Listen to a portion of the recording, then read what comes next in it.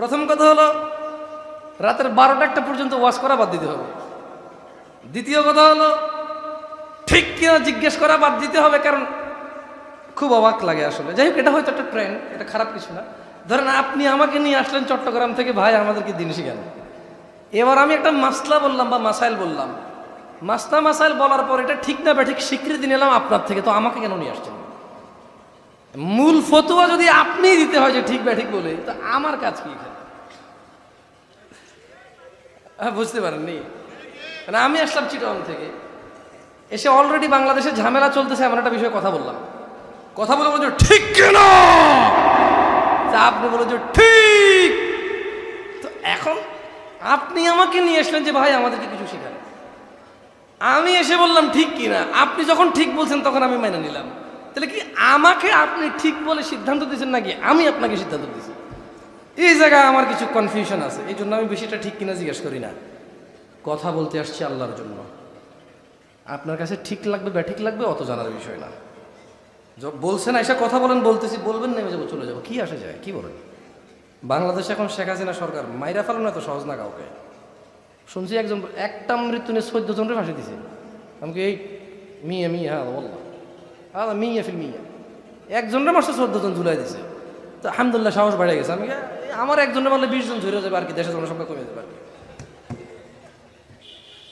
আমি কিন্তু দুষ্টামি করতেছি না এটা। আলহামদুলিল্লাহ, রাস্তাঘাটের অবস্থা খুবই ভালো দেখলাম। এই যে, কি বলো এটাকে? যাত্রাবাড়ি পার হওয়ার পর থেকে একবার এখান পর্যন্ত আস্তে আস্তে খুবই ভালো মাসাল্লাহ একদম অসাধারণ রাস্তা। যারা কাজকর্ম করেছে, আল্লাহ তাদেরকে বরকত দিন। এবং জনগণের সম্পদ রক্ষা করার জন্য আল্লাহ সবাইকে তৌফিক দান করুন। যারা এই কাজকর্ম থেকে নিজেদের স্বার্থ উদ্ধারের জন্য জনগণের সম্পদ নিয়ে গ্রাস করবে আল্লাহ তাদেরকে হৃদায়ত দিন আর যারা পরিপূর্ণভাবে মানুষের সেবার জন্য কাজ করবে আল্লাহ তাদেরকে আরও বরকত দিন আমিন। তো তাহলে এখানে যে কথা বলতে আসছি আপনার ঠিক লাগলেও ঠিক না থাকলে না লাগলেও ঠিক আপনার ব্যাঠিক লাগলেও কিছু করার নাই। বলছেন ভাই আসেন কথা বলেন আসছি।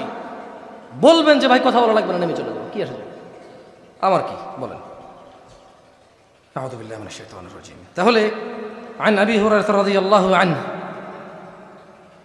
قال আবু হুরার রাদি আল্লাহ আনহু থেকে বর্ণিত তিনি বলেন ক- সামি'তু রাসূলুল্লাহ সাল্লাল্লাহু আলাইহি ওয়াসাল্লাম আল্লাহ নবী সাল্লাল্লাহু আলাইহি সাল্লামকে বলতে শুনেছি তিনি বলেন ইন্না আউওয়ালা মা ইউহাসাবু বিহিল আবদু ইয়াউমাল কিয়ামাতি মিন আমালিহিস সালাহ নিশ্চয়ই বান্দার কিয়ামতে বিচারের মাঠে সব চাইতে প্রথমে হিসাব নেওয়া হবে নামাজের ফাইন সলুহাত ও ফজরের মুসল্লিরা, পর্দার আড়ালের মা ও বোনেরা, যারা তোমরা ফজরে জেগে যাও, যারা তোমরা শত রান্না বান্না বাদ দিয়ে জোহর আদায় করো, তোমরা যারা বিকেলের ক্লান্তি নিয়ে আসর আদায় করো, যারা তারা, যারা তোমরা সন্ধ্যার টেলিভিশন দেখার সময় মাগরিব আদায় করো, যারা তোমরা ঈশার সারা দিনের অক্লান্ত পরিশ্রমের পর বিশ্রাম, ঘুমের সময় বাদ দিয়ে তোমরা যারা ঈশা পড়ো, জেনে রাখো তোমাদের জন্য সুখবর।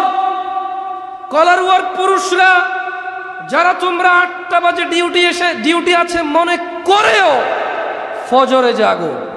যারা তোমরা চাকরি নেওয়ার সময় চিন্তা করে নাও যে জোহর পড়তে সময় দিবে কিনা।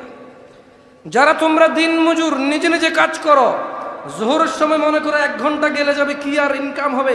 আল্লাহ যা রিজিকে রেখেছে চলে আসবে, জোহরের নামাজে যারা তোমরা যাও। যারা তোমরা আসরের আড্ডায় মেতে না উঠে বাইতুল্লাহ মসজিদের দিকে যাও। জেনে রাখো তোমরা, মাগরিব ঈশা আদায়কারীরা তোমাদের জন্য সুখবর। তোমাদের পেয়ারে হাবিব মুস্তফা আলাইহি সাল্লাম বলেছে, নিশ্চয়ই মানুষের প্রথম হিসাব হবে নামাজের। ফাইন সলুহাত ফাকাদ আফলাহা ওয়া আনজাহা। যদি নিয়মিতভাবে ঠিকমতো নামাজ আদায় করে যে সে নাজাত পাবে ও সফলকাম হবে।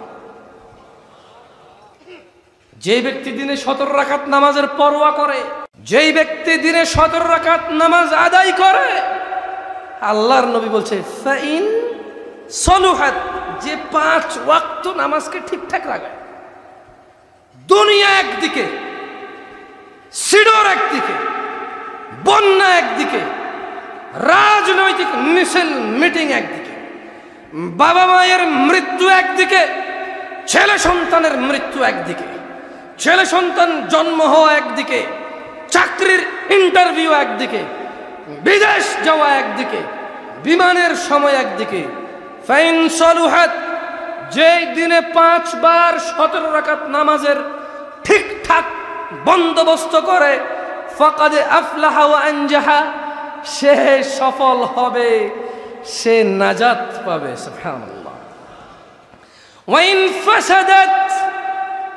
আর যে নামাজ নষ্ট করে, যে রাত দুইটায় ঘুমায়, মোবাইল দেখে, বারোটায় ঘুমায়, ক্লান্ত হয়ে ফজরে ওঠে না, জোহরে কাজ, আসরে ক্লান্তি মাগরিবে আড্ডা রেশায় আবার কাজ। যে পাঁচ ওয়াক্ত সতেরো রাকাত নামাজ নষ্ট করে, যুবক, বৃদ্ধ, মহিলা, পুরুষ এবং কি হিজল তমাল, তার প্রতিও সরাত ফরজ, তার প্রতিও ইমান ফরজ, তার প্রতিও সামর্থ্যবান হলে জাকাত ফরজ। ইসলামী শরীয়ত শুধু পাগল আর নাবালক বালেগ, বুঝদার হওয়া পর্যন্ত, ঘুমন্ত অজ্ঞান ব্যক্তি জাগ্রত বা হুঁশে আসা পর্যন্ত। এই তিন ব্যক্তি বাদে লিঙ্গ নেই, বয়স নেই, যুবক বৃদ্ধ সিস্টেম নেই ইসলামে। সবার উপরে নামাজ ফরজ। আর যে পাঁচ ওয়াক্ত নামাজকে নষ্ট করল, ফাকাদে খাসার। সে ব্যর্থ হবে, বিপর্যস্ত হবে। ফজরের আরামের ঘুম অগ্নিকাণ্ডে রূপান্তরিত হবে। জোহরের কর্মব্যস্ততা আগুন তাকে ঘিরে নেবে। আসরের আড্ডা, মাগরিবের আড্ডা তাকে জ্বলন্ত অগ্নিকাণ্ডে নিক্ষিপ্ত করবে। এইসার সলা ত্যাগকারী তাকে ওই আড্ডা, ওই কর্মব্যস্ততা, ওই খামখেয়ালি ওই উদাসীনতা তাকে জাহান নামে নিক্ষিপ্ত করবে।